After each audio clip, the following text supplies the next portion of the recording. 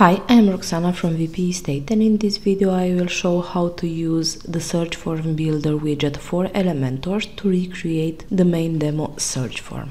This is the search form and next I will show the steps that you need to take to create a similar search in any page created with Elementor. This page was created with Elementor and the first step is to click Edit with Elementor I will add the search form builder widget in the hero section that was also created with Elementor. So I will look for the widget.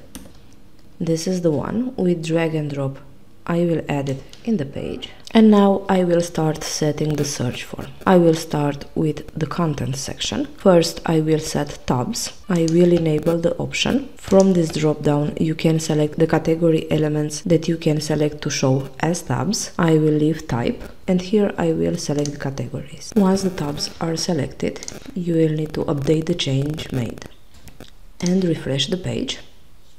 Now I will select the search again and move further to the form field settings. Here you will be able to set the fields that will show under each tab. You will have by default property categories and property city. I will leave them both, just that here I will select the tab where the field will show.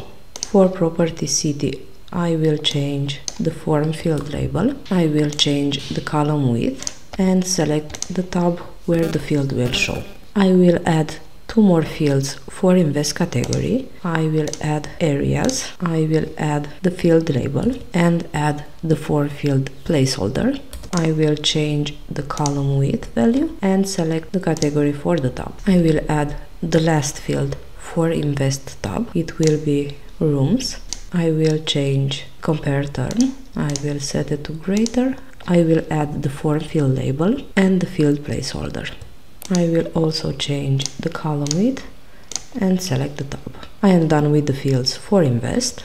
Next I will set the fields for rentals. I will add categories. I will add the form, field label and placeholder. I will change the width and select rentals as tab. I will add the second field which will be minimum size. I will change the compare term. I will add the label and the field placeholder. I will change the column width and select the tab.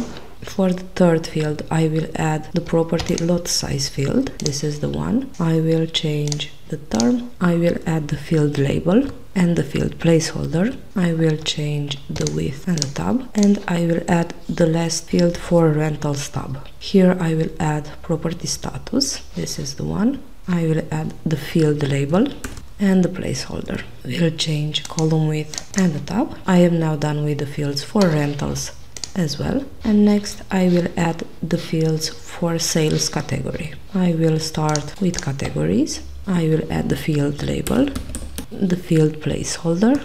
I will change the column width and select the tab. I will add the second field which will be city. I will add the field label and the field placeholder. I will set the column width and the category for tab and for the last field I will add price. I will add a label and a placeholder. Also I will this price field will be a price slider and I will set the minimum and maximum price range. I will set the column width to 40% and select the tab where the field will show. I am done with the sales field as well. I have set up all fields for the search. Next you will have these options. The first one is to show labels in the search. If you set it to now, the labels will not show. I will leave it to show. Next you will have show amenities and features which will be the more search option button that I will disable and I will disable the search title as well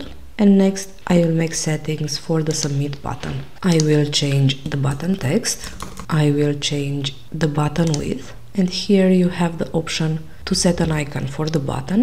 You can set one from Font Awesome or upload an SVG one. I will look for an icon from Font Awesome. I will select this one. I am done with the settings from content section. Next I will go to style section. Here I will make settings for the search design. I will change the row gap I will change the label margin bottom. I will change the label text color. I will change typography. Next I will set the background color.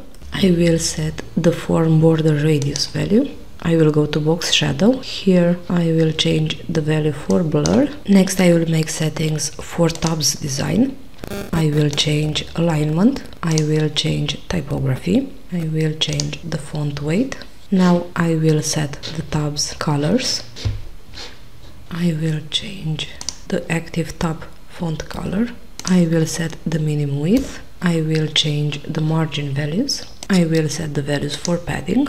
I will set the tab items border radius value. I will set tab item border width. I will add the tab content padding. I will also set the tab content border radius value. And next I will manage the settings for the fields design. I will change the fields text color.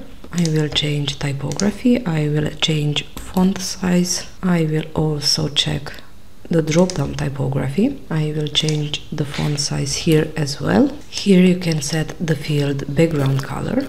Here you can set the colors for the slider, the slider that I added in sales. Next I will make settings for the search button design. I will leave the option to use hover effect enabled. I will make settings for normal state. I will change the color of the icon. I will change the border type. I will add the width of the border. I will set the color. I will change the text padding value. I will add the icon size and the icon size padding. Now I will make settings for hover state. I will change the color for the icon and I will leave the rest of the settings as they are. I am also done with the design settings. Next, from advanced, you can manage the search position over the header. I will add here margins and to change it position, I will set position absolute. I will change the offset value for the horizontal orientation and the value for the vertical orientation. I am done with the settings for the search form. I will save the changes I made. Now I will go on front end. I will refresh the page and this is the search that I just created. This wraps our video, thank you for watching and not forget to subscribe to our YouTube channel to get instant notifications on new videos.